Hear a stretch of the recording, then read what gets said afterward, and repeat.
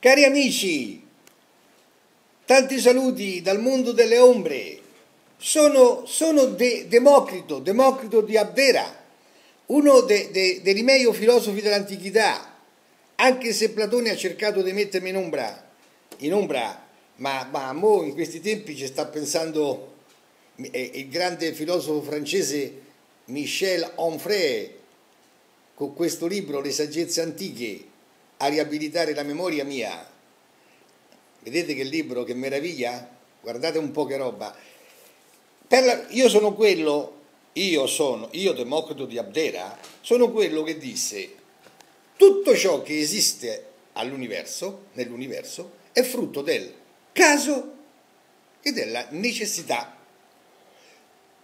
Per meglio spiegare questo concetto, poi Armando De Venuto è un grande biologo francese, un grande biologo francese che ci ha avuto pure il premio Nobel, che ha scritto il grande, il grande libro intitolato Les hasard et la nécessité, il caso e la necessità, il caso e la necessità. E adesso vi spiego tutto, vi voglio spiegare tutto com'è sta faccenda qua del caso della necessità, perché io ho detto, io ho detto, io Democrito di Abdera, ho detto, ho scoperto che tutto ciò che esiste nell'universo è frutto del caso e della necessità. Poi Jacques Monod, Jacques, il francese Jacques Monod, 20-30 anni fa, ha scritto un bel volume intitolato Il caso e la necessità. Com'è, com'è sta faccenda col titolo Puttane, modelle, DNA?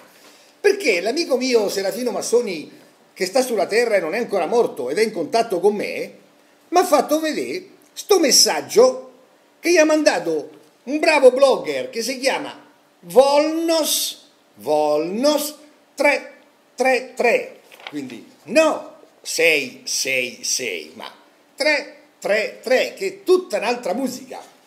E qua dentro sto messaggio, dentro sto messaggio c'è sta una frase che non mi piace per niente, non mi piace per niente.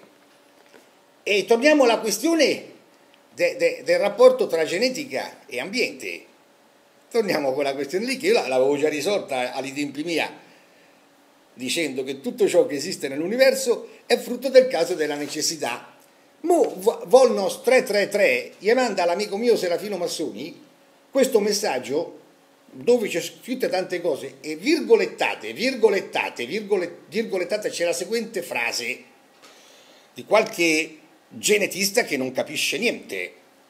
Purtroppo siamo ancora schiavi del pregiudizio, pregiudizio che siano l'ambiente, l'educazione ricevuta, il comportamento dei genitori a determinare quello che diventiamo. Capito? C'è un, un, un, qualche infamone, un genetista, un darwinista puro, puro sangue, che dice purtroppo siamo ancora schiavi del pregiudizio che siano l'ambiente, l'educazione ricevuta e il comportamento dei genitori a determinare quello che diventiamo. E qua, e qua su questa frase ci siamo fatti un sacco di risate, io e l'amici mia qua nel mondo delle ombre, perché si vede che, mortali ancora, che voi mortali ancora non, non avete capito niente. Vi voglio fare un esempio. Vi voglio fare... Ah, premesso che quando io dico tutto ciò che esiste nell'universo è frutto del caso e della necessità, voi dovete tradurre il caso come l'ambiente, l'ambiente, l'ambiente circostante, la necessità come il codice, il vostro codice genetico. E questo l'ha spiegato bene eh, Jacques Monod nel libro che ha il titolo copiato da me, Il caso e la necessità. Vi voglio fare esempio, proprio quello delle mignotte e delle modelle, secondo il titolo che io ho dato a sto filmato che vi mando in maniera virtuale dal mondo delle ombre, che è un mondo virtuale. Sentite un po', voi mettete in fila un bel numero di bellissime mignotte, bellissime perché so belle come delle dee, come delle dee de, de, de, dell'Olimpo mio, dell'Olimpo mio, dei tempi mia, quando vivevo sulla terra. Mettete in fila 15-20 di quelle belle mignotte che stanno lungo le strade consolari e che si riscaldano al fuocherello di sera, di notte. Belle con le minigonne, i tacchi alti così, belle, mezze nude, belle, veramente belle, belle, belle, belle, belle. E poi metteteci a confronto altrettante modelle di quelle che sfilano, di quelle che fanno le, le grandi sfilate di moda e che sono venerate, adorate anche ritenute delle donne per bene. Ditemi voi, ma che? Per quale motivo? Ma per quale motivo? Per quale motivo? Queste belle ragazze moldave, ucraine, polacche, slave, albanesi, belle, alte, slanciate, mille volte meglio di Eva Erzigova. Perché battono la strada? Battono la strada, fanno le mignotte. E, e, e altre invece come Paris Hilton, eh, che so, come la Carla Bruni, invece sono le regine de, de, de, del, mondo, del mondo capitalistico. Dov'è la differenza? Ma dov'è la differenza? Ditemelo voi, mortali che non siete ancora morti. Ma perché quelle lì, che sono belle come quelle là, battono la strada, fanno le mignotte, le schiave, e invece quelle altre, che, che non sono più belle delle mignotte, fanno le sfilate di moda? Ma dov'è? Dov'è? Perché? Dov'è la differenza? La differenza è nella situazione in cui sono nate, nell'ambiente in cui sono nate. Il caso, il caso, il caso, il caso, l'ambiente, il caso, il caso, il caso.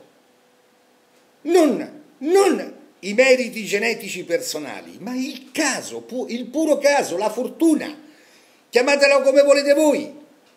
Caso, fortuna, fato, l'ambiente, l'ambiente circostante, l'ambiente circostante ha fatto di quelle belle donne delle mignotte e di quelle altre belle donne le occasioni, le circostanze, ha fatto delle modelle e hanno lo stesso patrimonio genetico, hanno stesso, la stessa bellezza, la stessa bellezza, le stesse forme armoniose di una dea greca, identiche. Alcune sono mignotte, altre sono modelle, sono regine dell'alta moda.